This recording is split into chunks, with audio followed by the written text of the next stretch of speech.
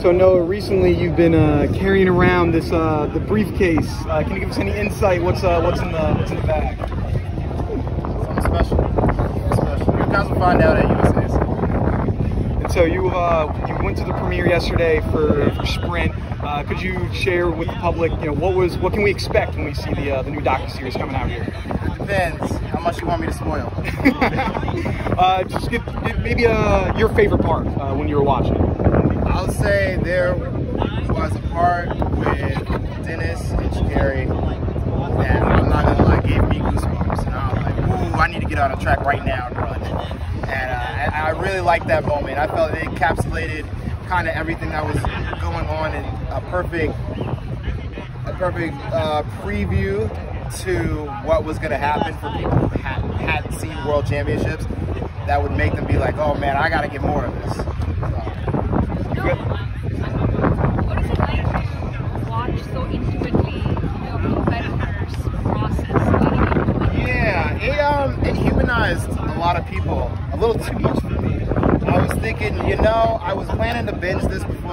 but maybe not anymore. Might humanize my competitors a little too much, and that might not be the best thing going in with the kill be killed mentality. What anime are you watching right now? Right now, I'm on the latest season of How I Got Reincarnated as a Swan. What's the best advice you've ever been given?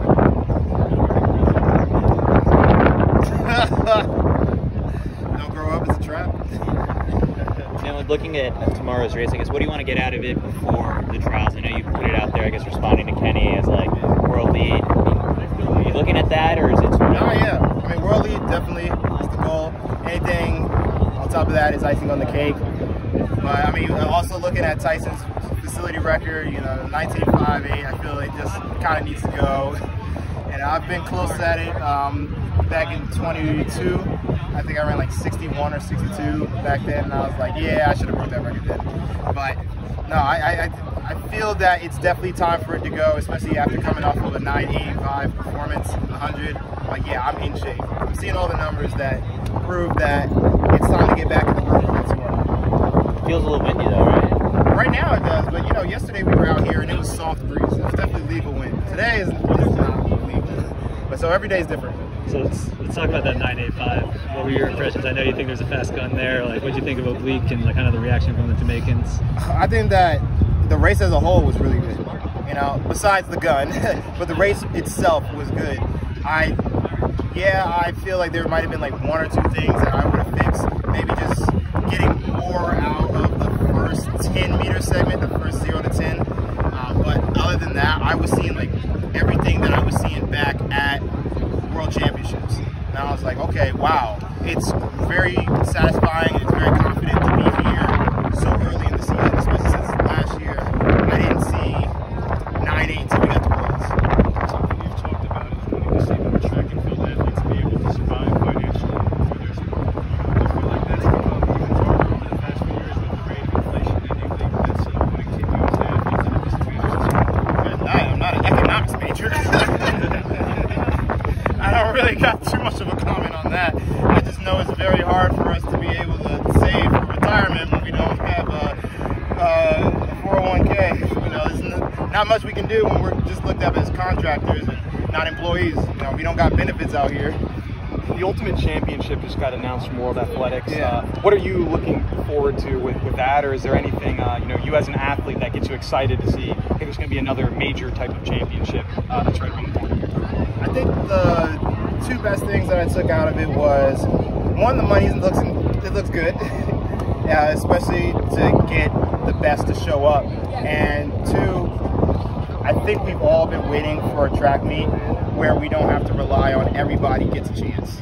Now we're looking to see the best of the best go up against each other, no matter what country you're from, no matter you know, who you are. Like, we want to see the very best, the world leads going in run it out. We don't want to see, you know, half the top 10 in the world get DQ'd or, I mean, put out of the contention because they can only take top three in the U.S. and top three in Jamaica. Like, we want to see everybody there. What does success you?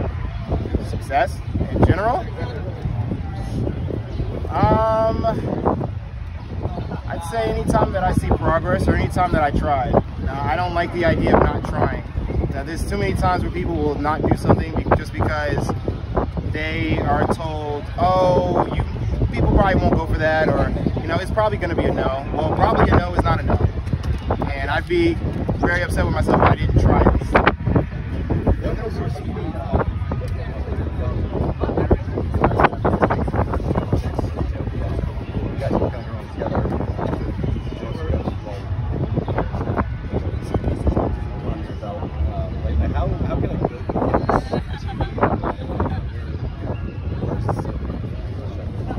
mean, if you've looked at the past two World Championships after Tokyo, uh, the U.S. has had a strong dominance on the gold medal stand and on the podium as a whole. Uh, we've been you know, saying that we've been grabbing the medals that we're supposed to and grabbing medals on top of that. So it's very reassuring. And then, of course, coming off of 2022, we were just sweeping everything. And gosh, that, that got to make you feel good as we go into the Olympics. And you know, I, I don't think we're losing anybody to that. If anything, we're gaining. It's been a little while since uh, the U.S. has won you know, the big four by one. Uh, what do you think it's going to take for us to be able to bring home gold this uh, this Olympics? truly after running at World Relays, it's it's no longer about speed. This That's what it really comes down to. It's how you pass the baton and the chemistry that you have between everybody. Now, there was an unspoken bond that we somehow you know, created when we were at World Relays this year. I don't know how we all just ended up on the same wavelength we were. And if I had an idea, I ran it by Kyree, and he was like, bro, I've been feeling the same thing. If you know Courtney had an idea with Kenny, it was like, bro, I've been feeling the same way. We did it and we executed, and every time we made an adjustment, it got better and better. It's just like, hey, it, it's chemistry. It's not about the fastest guys, it's chemistry. What do you think of the Team USA men's basketball roster this year? We gotta win, so we'll see. What does your spiritual preparation look like for these Olympic Games? Spiritual, uh, Christianity. Whatever, whatever you want to share. Um, I'd say that personally, I've, I've been feeling. Uh, I don't know. That's a discussion for me and my therapist. Let's just say I'll give you the answer once I figure it out. You've been involved in a lot of different docu series. You had your own one, uh, Untitled, as well as now we have Sprint. Uh, can we foresee a second season for your personal uh, documentary coming out? And so, Uh, we decided not to. It's just too too much time. Know, I loved what we weren't able to do, but one, it, it took a lot of time, especially since I was doing Netflix and my own. And then the second was I had to raise that money myself, and that's hard to keep doing every year and being like, okay, where are we going to get the money this time? Uh, especially when we knew that Netflix was going to do season two. And we're like, hey, we believe that they're going to do a good job. Let's lean into what they're doing, give them a little more of insight of, hey, this is what we're going to be, this is what we're going to be doing at. They give them more of like, hey, let's turn this into the Noah Lyles show, underhandedly.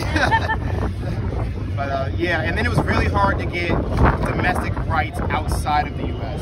Uh, we had, were pushing really hard to get it to everybody in the world. Like there was just a lot of hoops to jump through. Not everybody is willing to play ball.